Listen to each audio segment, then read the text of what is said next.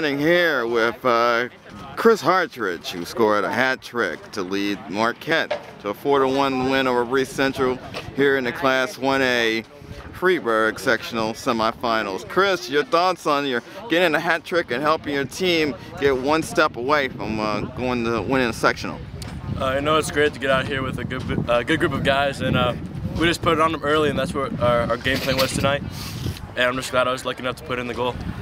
Well, talk about that uh, uh, that start there with what uh, 45 seconds into the match there. How about Noah McClintock uh, scoring that goal there? I mean, you can't ask for anything better than that. 45 seconds in to get a goal. I mean, that really put the momentum to our side. So I'm just glad we got it, got our foot in the door early.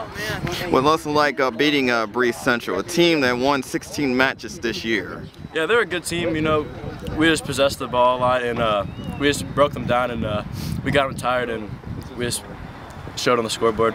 And how about yourself? You really showed on the scoreboard, you know, with the three goals, giving you nine for the year. What clicked for you tonight here? I mean, I, my teammates give me good positions to get in front of goals, so I just took that for granted.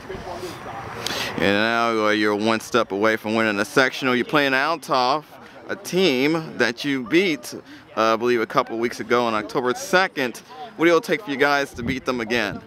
I mean, it's, we have to work together. They're a really good team, so we have to play together and play fast and make sure there's no flaws in our game. What can say about playing with this squad who just won a regional on Friday over Father McGivney and also surpassed last year's win total of, of 12? Talk about playing with this squad here.